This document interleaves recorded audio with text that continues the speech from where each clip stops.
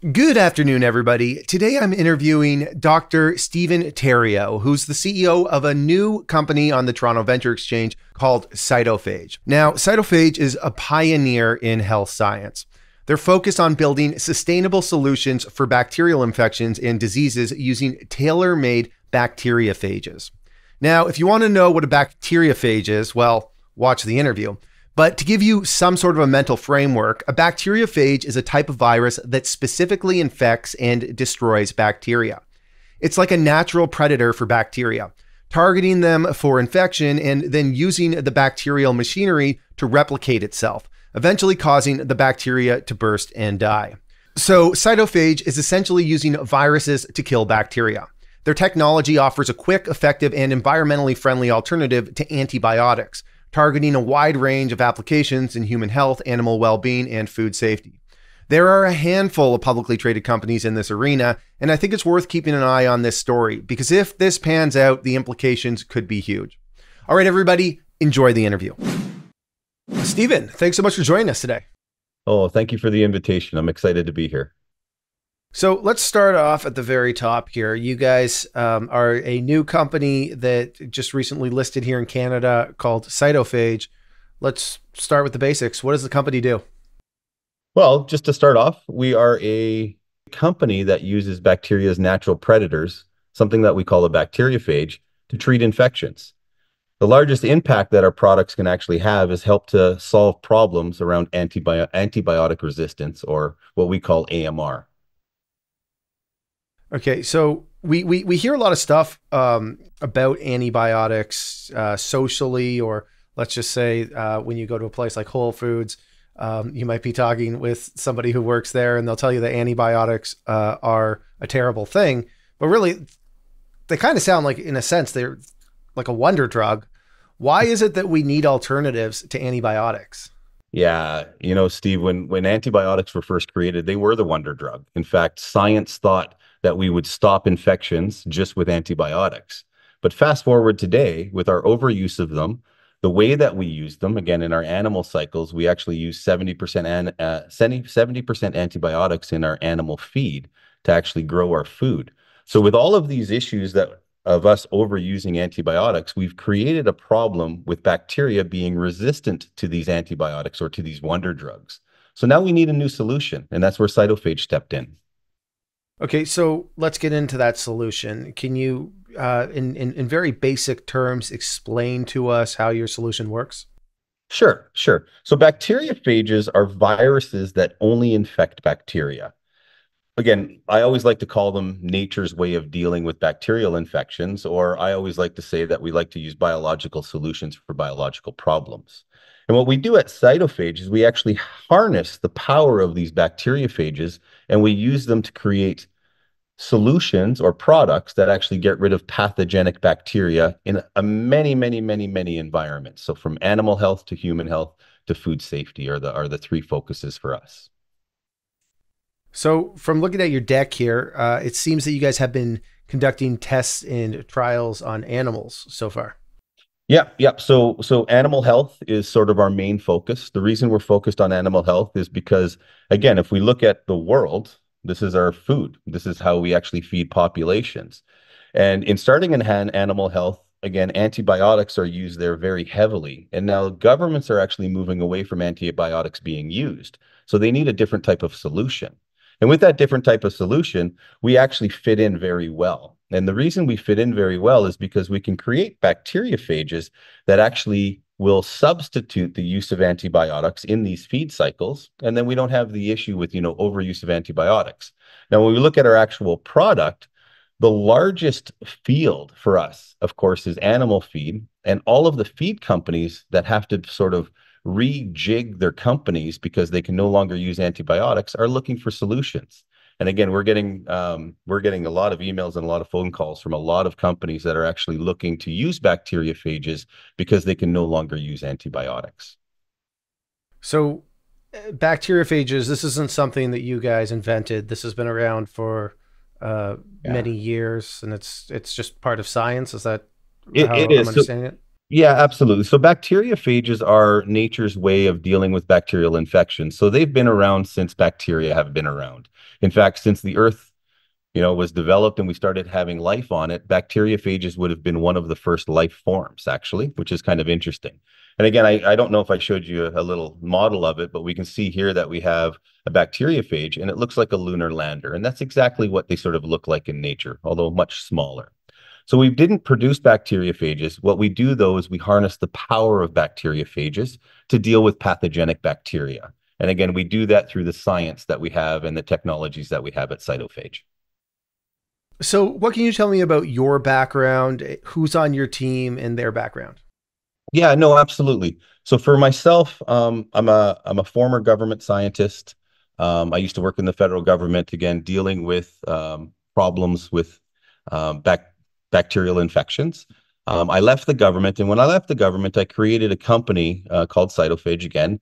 And with about 15 years of experience around developing bacteriophages, I've brought on a bunch of great scientists, sort of to uh, to help me and to sort of help us move our technologies forward.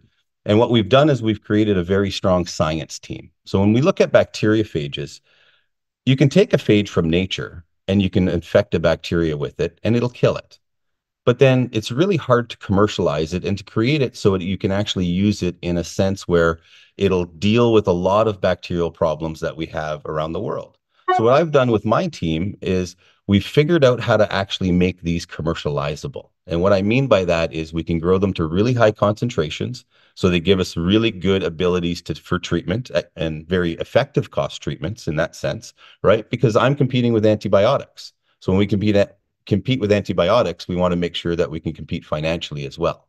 So that's again what I've done is I've sort of surrounded myself with a team of scientists for the last 15 years and we've developed really really strong scientific technologies to allow bacteriophages to be commercializable. Are there any examples recently or in in the news that we may have read about where there were some sort of say outbreaks, uh, maybe in Canada or the U.S., where your technology could have uh, solved uh, that outbreak? No, absolutely. So, you know, there's been a lot of news coverages that have have been occurring just recently. Um, we've had some outbreaks of of salmonella in cantaloupe. We've had outbreaks of salmonella in dog food. We've had outbreaks of salmonella in childcare facilities. So there's all types of outbreaks, and these outbreaks turn into human deaths, right? So this is actually something that's that's very substantial in our population.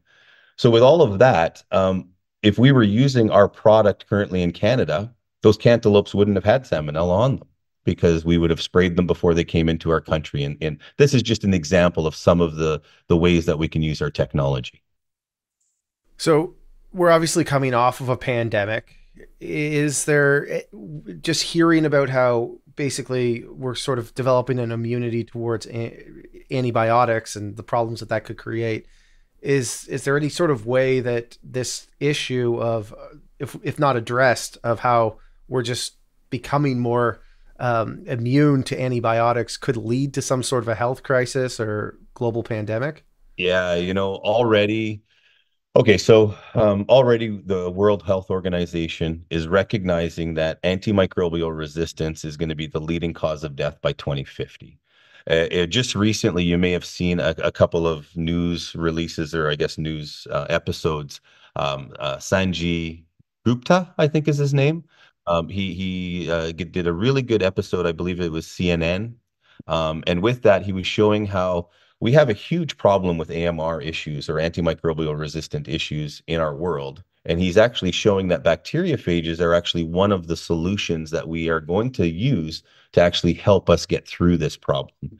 And then, you know, on top of that, I've actually given a lot of interviews as well with the CBC. I did one in earlier December where I was actually discussing what cytophage was doing in the poultry market and how we can actually use bacteriophages to increase the amount of food protein that we can actually create. Why? Because as we create and use our bacteriophages, we remove infectious bacteria. So there's no disease. So then the animals are healthy and they grow to a bigger weight. So yeah, there's lots of news coming around and lots of really good, um, exciting sort of uh, topics that are actually revolving around bacteriophage. Yeah, it's an exciting time for us. How many other companies are out there that are working on bacteriophages? Well, you know, in my mind, there's really only five or six companies that we actually um, sort of monitor and look at. Um, these companies, though, aren't working in the same area that we are in cytophage. They're actually working in other areas, and that would be more human health, uh, maybe cystic fibrosis. You know, very focused on one disease type. What we're trying to do at Cytophage is quite different. We're using our science and our technology to actually allow us to create commercial products that are more broad.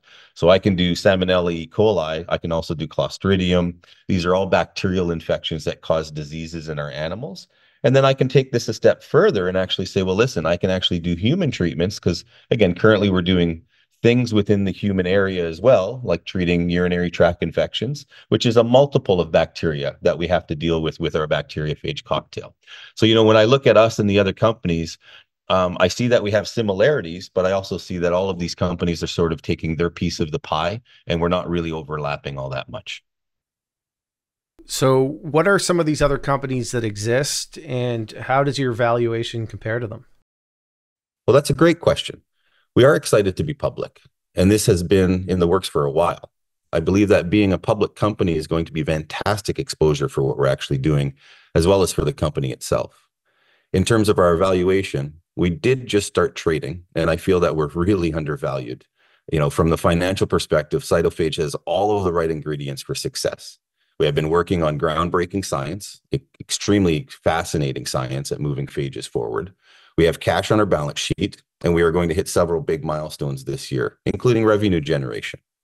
So again, I think we have everything in place to really, you know, make make an impact and move forward. You know, there's one company that I, I currently watch. It's called Armata, and you know, I'm using this sort of as a milestone or a measuring stick for us. It's currently traded in the United States. They are a phage company, and they only do uh, human health research, um, where they have one iteration or one. They're trying to cure one disease. Um, currently, their value is almost six times that of what we are now. And from that perspective, from what I know about our science and what we're currently doing, I would say that we are tremendously undervalued. And investors who buy into us, I think, can stand to benefit significantly. How much money have you guys raised to date to get to where you are today? 23 million to date um, from very smart and passionate investors many of whom invested in Cytophage in every single raise that we put out. I've, I've, got to ask a bit of a fun question here. Have um, have you been getting any coaching on being CEO of a publicly traded company and oh. uh, so, so some of the pitfalls uh, to avoid that we see happen with many of these Canadian public CEOs? Coaching. Well, let me say this: I'm working nonstop with my C-suite as well as my scientists. And we are all working as an integrated team and all playing on our strengths. From that, again, we have each other's backs and we really are, you know, a cohesive group that can actually get a lot of things done very quickly, which is again wonderful. We have a great board of directors. They're an extremely great resource for me. Um, and again, they help us bring the company to the next level all of us working together. So again it's uh i wouldn't say i'm being coached but i have a fabulous team that is backing everything that we're doing and understands what we're doing. And as well you know they're all in it for for the longevity meaning that we really want to see phages um you know prosper in the human population as well as in the animal po- population as treatments. So last question for you. Um, over the remainder of 2024 i'm sure that the company has timelines, milestones, potential catalysts. What what do those look like for cytophage? That's a really good question. Uh, and I'm glad that you actually asked it. There are five key strategies that we are working, and any one of these five strategies is a company maker. Um, again, and can deliver home runs for our investors. Number one, domestic animal health. You know, specifically in poultry, we just pa- put out a press release uh, talking about our egg wash in which we can actually improve hatch rates as well as cull rates that occur when they're actually used in, in egg processes. We have tested this in the lab and it eliminates 90, 99% of the bacteria that are actually found on the eggs themselves.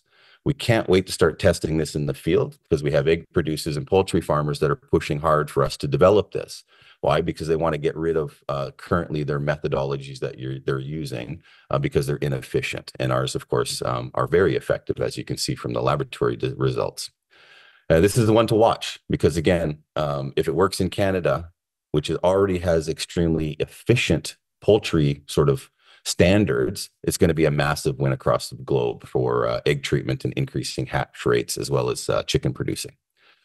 The second part is international um, animal health. So bacteriophages are getting a lot of attention in Asia, and we have people on the ground in Asia actually actively working um, with business development angles with some of the largest animal feed companies in the world.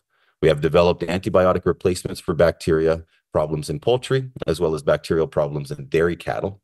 Um, investors like to see, you know, results closer to home, whether North America or Europe. But I feel that part of cytophage going to Asia is actually helping us you know, gain valuable information um, to help push our you know our initiatives forward with bacteriophage. So moving into into Asia gives us a lot of opportunities that we can of course bring back home. And the next three, well, I won't get into too much detail, but there are three areas that we are working on and working in that help and, and uh, move bacteriophages forward. Human health, again, we currently are doing very small single patient trials. We are working with committed doctors trying to find solutions to patients who have run out of options. Like if you can't use an antibiotic and you can't get a treatment and you are going to die from your disease, we are an option for you. Why? Because we can create bacteriophages that do solve these problems. You can imagine the press if cytophages helped to cure a life threatening bacterial infection. Again, human health trials are extremely expensive, but if we show that we can actually cure a single person, then the avenue for us to do large scale human trials is there. And again, with the support of the government and other um, industries, we'll be able to do that fairly quickly as long as we show positive results. And again, um, because this is going to be revolutionary science, the other things that we're actually looking at are phage manufacturing as well as biomarkers and standards as advancements in our science and advancements in in products that actually can be revenue generating. Well, Steven, thanks so much for hopping on here today. Um, hopefully, you'll keep coming back on here as the story develops. I think this is one of the more interesting stories we've seen uh, on the Canadian junior markets in a couple of years, and uh, I'd, I'd, I'd love to get down to see the facility at some point uh, once you guys uh, have it up and running. So, yep. thanks for hopping on here, and uh, congratulations on the go public transaction. I appreciate it. Always an open invitation. Thank you again for the invite. All right, everybody. Thank you for watching. If you enjoyed this interview, please smash that like button, subscribe, and ring that notification bell. Also, let me know what you think in the comment section. Thanks, everyone.